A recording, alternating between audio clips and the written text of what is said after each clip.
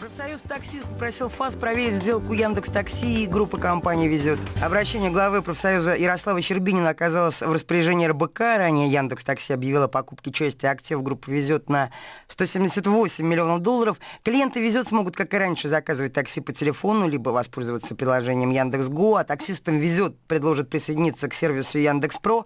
Переговоры велись не один год, но первый раз сделку о слиянии заблокировала ФАС. Сейчас профсоюз такси запросил проверку нового соглашения. Там опасаются, что сделка приведет к супермонополии Яндекса.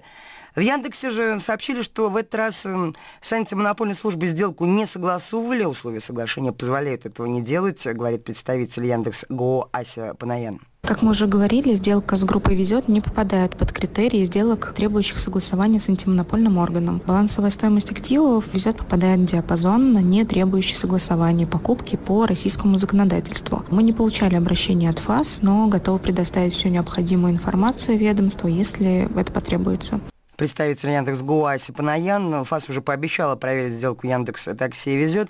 Профсоюзы таксист вспоминают прошлое слияние Яндекса с Uber. Тогда, по словам председателя профсоюза Ярослава Щербинина, резко выросла комиссия агрегатора, следом выросла стоимость поездки, а заработок водителя в итоге снизился. Как на стоимости поездок отразится новое слияние? Об этом рассуждает председатель общественного движения «Форум такси» Олег Амусов. Сделка эта должна была пройти еще прошлым летом. Понятно было, что ФАС ее не пропустит, потому что получается охват рынка больше 80%, значит, ну, он просто монополистом становится. Они отзывают эту сделку и добавляют в эту сделку грузовые перевозки. Везет как таковой такси уже перестало существовать потому что оно, его начали делить и Дербани кусками, и этими кусками региональные отделения Яндекс спокойно покупал вместе с диспетчерскими, раздробили, везет, как компанию, да, то есть, которая в свое время поглотила Сатурн. И вот э, на сегодняшний день, когда вот эта вот сделка проходит, ФАС ничего не может сказать. А в ряде регионов вообще получился монополист, примерно под 100%.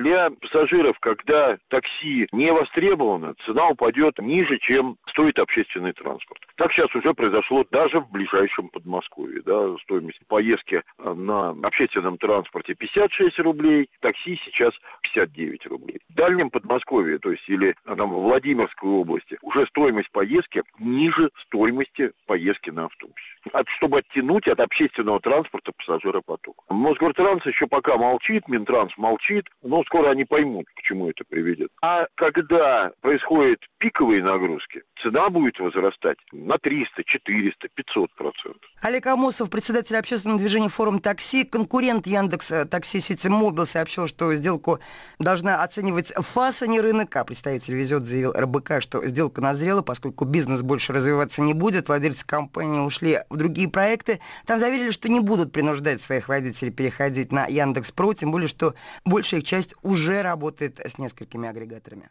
Верховный суд Британии признал водителей Uber сотрудниками, позволив им требовать с работодателя минимальную зарплату и брать отпуска. Эксперты расценили это как удар по бизнес-модели агрегаторов такси. Каковы перспективы российских таксистов в связи с этим вердиктом? Британский суд признал Uber работодателем таксистов. Решение, которое называют рубежным для всего мирового рынка перевозок, позволит водителям требовать минимальную зарплату и брать отпуска. А значение этого вердикта и перспективах российских таксистов – Андрей Ромашков.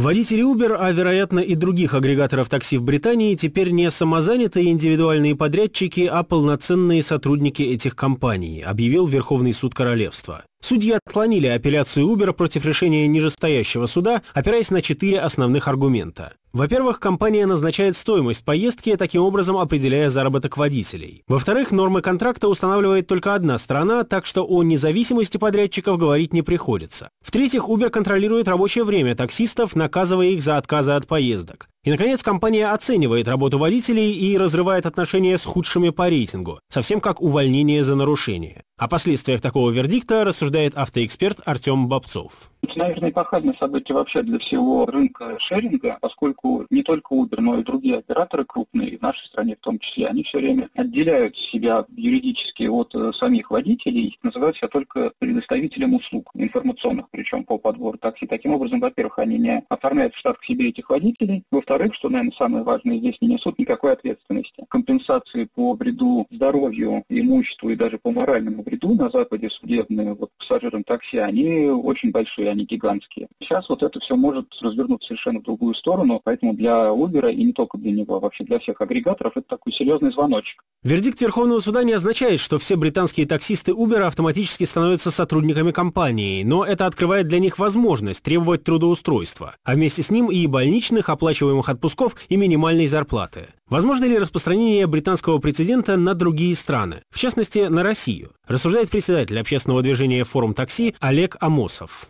признать работодателем конкретного агрегатора Яндекс. Обращение уже было, в первой инстанции судебное было отклонено, во второй тоже отклонено. Достаточно сложно это перенести этот опыт на нас.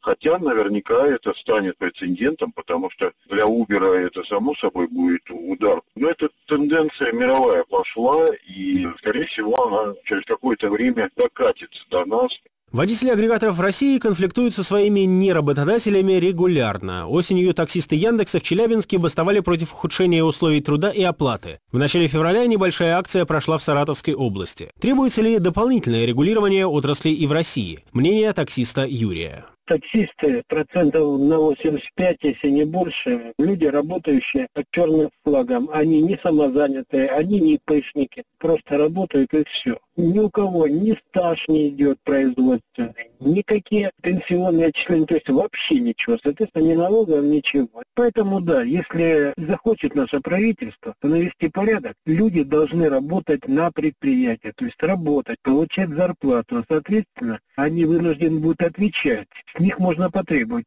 В 2019 году полноценными сотрудниками сервисов-агрегаторов признали таксистов и курьеров в Калифорнии. Самозанятые жители получили право на отпуск, минимальную зарплату, медицинскую страховку и так далее. Норма продержалась недолго. Уже этой осенью штат проголосовал за выведение Uber и ряда других компаний из-под новых правил. Значимость таких инициатив для бизнес-модели агрегаторов иллюстрирует сумма, которую они потратили на лоббистскую и агитационную кампанию. По данным CNN, это 200 миллионов долларов.